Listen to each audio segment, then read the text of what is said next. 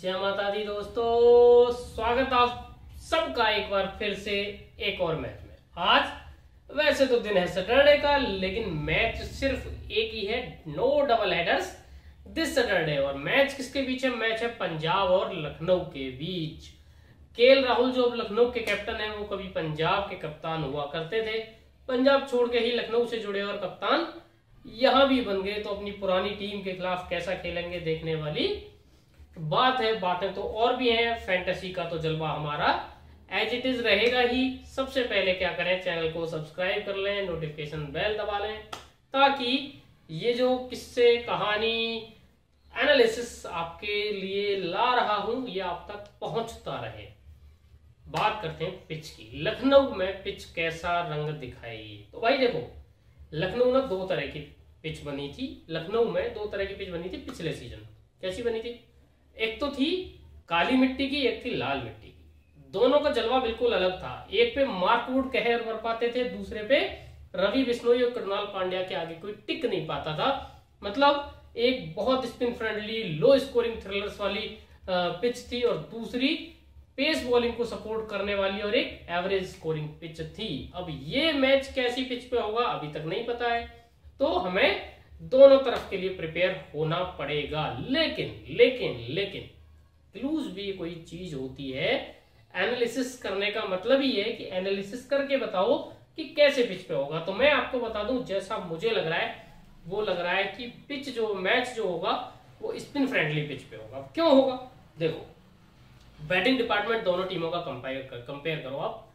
Enough fire power दोनों टीमों में है। तो कोई टीम का किसी भी टीम के ऊपर एडवांटेज नहीं है। पेस बॉलिंग डिपार्टमेंट पंजाब का बेटर देन लखनऊ है। वहाँ कगी सोरावाड़ा है, हर्षल पटेल, हर्षदीप सिंह, सैम करन तो बढ़िया लाइनअप है। ज़रूरत पड़े तो नाथन एलिस सभी पीछे बैठे हैं। इधर अगर आप बात करें तो नवीन उलहक के बाद इंडियन इन एक्सपीरियंस्ड पेसर्स के सहारे अपना पेस अटैक इन्हें चलाना पड़ रहा है। तो सिंपल है कि पेस फ्रेंडली ट्रैक तो नहीं देने वाला है लखनऊ। और मैं, क्योंकि लखनऊ में तो थोड़ा सा तो ट्विस्ट आएगा ना पिच में तो फिर कहा बात आ सकती है? स्पिन पे जाइए। कृणाल पांड्या रवि बिश्नोई के रूप में दो सॉलिड ऑप्शन है, फिर मिश्रा जी भी बैठे हैं, दीपक गुड्डा स्पिन कर लेते हैं, आयुष बदौनी स्पिन कर लेते हैं, और उधर स्पिन की बात करें तो राहुल चहर अभी लेवन है नहीं पिछले मैच में। सिर्फ़ एक ओवर डाला। हरप्रीत बरार ज़रूर ज़रूर अच्छे दिखे, लेकिन वो क्या है राइट हैंडर्स के सामने बहुत अच्छे दिखते हैं। और अगर आप क्या लखनऊ का बैटिंग ऑर्डर देखेंगे ना तो वहाँ आपको दिखेगा कि लेफ़्ट हैंडर्स भी भरपूर प्रचुर मात्रा में है। तो इसका मतलब हरप्रीत बरार का इंपैक्ट भी उतना नहीं आएगा। तो कहानी क्या है? कहानी ये है कि पिच जो है, मुझे जहाँ तक लग रहा है स्पिन फ्रेंडली मिलने के चांसेस है। तो मेरा एनालिसिस लगभग उसी दिशा में रहेगा। प्लेइंग इलेवन लखनऊ की जो रही पिछले मैच पे उसमें कुछ बातें मुझे हैरान करने वाली रही, जैसे आयुष बदौनी को चार नंबर खिलाया गया। आयुष बदौनी तक को अब तक जो खिलाते थे, वो कहाँ खिलाते थे? छह सात पे खिलाते थे कभी कभी प्रमोट करते थे। लेकिन पिछले मैच में जिस तरीके से चार नंबर खिलाया गया, छठे गेंदबाज के तौर पे भी आयुष बदौनी को ही ट्राई किया गया, एक ओवर डलवाया उनसे। तो मुझे लग रहा है कि लखनऊ इस सीज़न आयुष बदौनी को लेकर कुछ बड़ा सोच रहा है, जैसे राजस्थान रियान पराग को लेकर सोच रहा है। वैसे आयुष भदोनी इस सीज़न लखनऊ के क्या हो सकते हैं? एक तुर्क के इक्के साबित हो सकते हैं, उनको अच्छा भरपूर प्रचुर मात्रा में क्या मिल सकता है? Game cover. तो आयुष बदोनी पे नज़र रखेगा और एक थोड़ा अजीबो गरीब मुझे लगा कि मार्कस स्टोइनिस को गेम कवर नहीं दिया बिल्कुल। एक ओवर गेंदबाजी भी नहीं कराई आपने। छह गेंदबाज ट्राई किए, उसमें छठे थे आयुष बदोनी स्टोइनिस को ओवर नहीं दिया। दूसरी बात स्टोइनिस को बैटिंग में बहुत नीचे भेजा गया। बदोनी, हुड्डा को ऊपर भेज के, फिर उसके बाद तुरंत तब स्टोइनिस को भेजा गया। जो कि जितना मैंने स्टोइनिस को देखा है स्टोइनिस सात नंबर के बेटर नहीं है। स्टोइनिस को आप चार पाँच पे खिलाइए, वो आपको मैक्सिमम आउटपुट देंगे। आप उनको ओपन भेज दीजिए, वो आपको आउटपुट दे देंगे। लेकिन एट सिक्स सेवन और वो भी तब जब गेम लगभग खत्म हो गया था, चार गेंदें खेलने को मिली, तीन रन बनाए तो स्टोइनिस का गेम कवर सडनली इन्होंने ज़ीरो कर दिया। क्या स्ट्रेटजी इनकी थी? आई कैन नॉट से दूसरी तरफ़ अगर बात करें पंजाब की तो पंजाब के लिए जो काबिल एक और बात है प्लेइंग इलेवन में, वो ये है कि लियाम लिविंग स्टोन को प्रमोट किया गया चार नंबर पे। पहले मैच में सैम करन को वहाँ खिलाया गया था। तो ये होगा क्या, जब जब बैटिंग फ़र्स्ट बैटिंग सेकंड का केस बनेगा तो लियाम को ऐसे हिसाब से भेजा जाएगा फिनिशर के तौर पे यूज़ करने के लिए कि अच्छा प्लेटफॉर्म बन गया है, आप जाइए और ताबड़तोड़ जाके रन बना दीजिए। तो बहुत ज़्यादा फ्लेक्सिबिलिटी आपको दिखेगी लियाम लिविंगस्टोन के बैटिंग ऑर्डर में। और हाँ अगर स्पिन फ्रेंडली ट्रैक जैसी मिलने की पॉसिबिलिटी है और जैसा पंजाब का स्पिन अटैक जा रहा है, आप ये मान के चलिए कि लियाम लिविंगस्टोन से आपको कुछ ओवर भी इस मैच में देखने को मिल सकते हैं। बात करते हैं इंपॉर्टेंट प्लेयर्स की। कौन से प्लेयर हैं जो इंपॉर्टेंट हो सकते हैं? तो मैंने जो लिस्ट बनाई है, मेरी लिस्ट क्या कह रही है? मैं आपको पढ़ के सुना देता हूँ। मेरे हिसाब से के राहुल बहुत इंपॉर्टेंट रहेंगे। लोग उनकी को क्रिटिसाइज कर रहे हैं कि ऐसे स्ट्राइक रेट पे खेल रहा है, वैसे पे खेल रहा है। मैं कह रहा हूँ, जैसे पिच मिलने वाली, उस पर उनका गेम बड़ा मुफीद, बड़ा अच्छा साबित होगा। कृणाल पांड्या, आयुष बदौनी दोनों बहुत इंपॉर्टेंट रहेंगे। नवीन उलहक, बहुत इंपॉर्टेंट रहने वाले। चार प्लेयर लखनऊ के हो गए। लियाम लिविंगस्टोन, सैम करन और हर्षल पटेल। अब कहेंगे हर्षल पटेल पेसर हर्षल पटेल तो स्लोअर बॉल डालते हैं ना। वो उस पिच पे बड़ा कामयाब रहेगी। तो हर्षल पटेल भी is very very important grand league picks पे आइए। आयुष बदौनी को मैं यहाँ पे इसलिए डाल रहा हूँ कि इनको आप कैप्टन या वाइस कैप्टन ट्राई कर सकते हैं।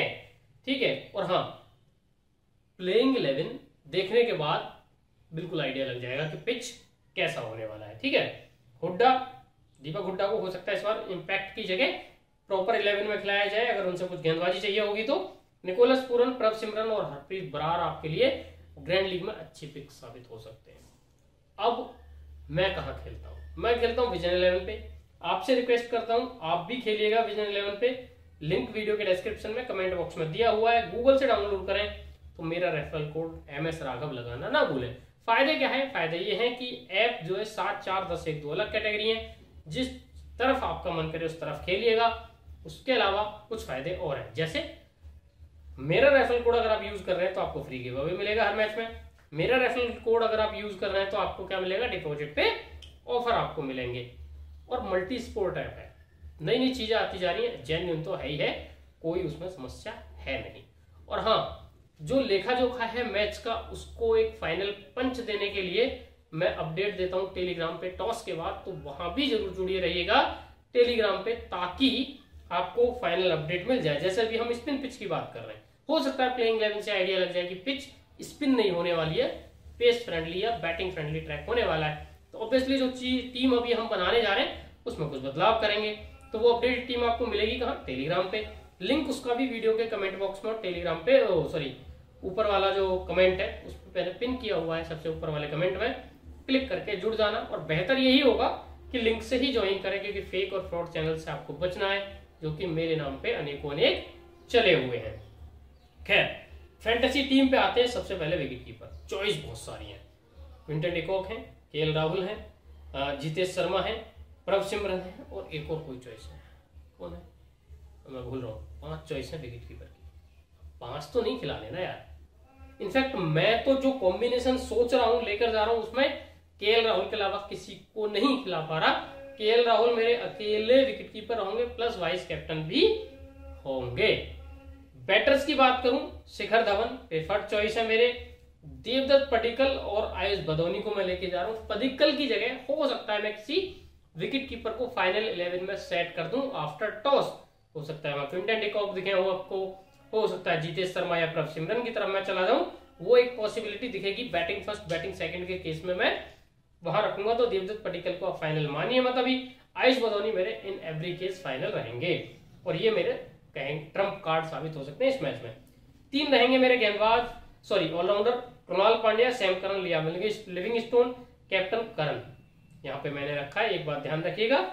लियाम, लिविंगस्टोन और कृणाल पांड्या दोनों ही ग्रैंड लीग में एक अच्छे कैप्टन और अच्छे वाइस कैप्टन आपके साबित हो सकते हैं। तो उस तरफ़ भी थोड़ा ध्यान रखिएगा। चार गेंदबाज, हर्षल पटेल के साथ, कगीसो रवाडा और नवीन उलक के साथ रवि बिश्नोई में लेके जा रहा हूँ। जो बदलाव होंगे वो मैं आपको दे दूँगा। मोहसिन खान एक अच्छी पिक हो सकते हैं, जिनको आप ट्राई कर सकते हैं। जस ठाकुर चूँकि डेथ में बॉलिंग करते हैं तो चीफ विकेट मिल सकते हैं। अर्षदीप सिंह एक और चॉइस है। तो वो कॉम्बो कैसे बिठाना है, उसके बारे में भी थोड़ा बहुत आपको टेलीग्राम पे टॉस के बाद जानकारी दे दूँगा। इस वीडियो में इतना ही। कल फिर मिलेंगे अगले मैचेस के एनालिसिस के साथ। फ़िलहाल दे दीजिए इजाज़त और टाटा बाय बाय जय माता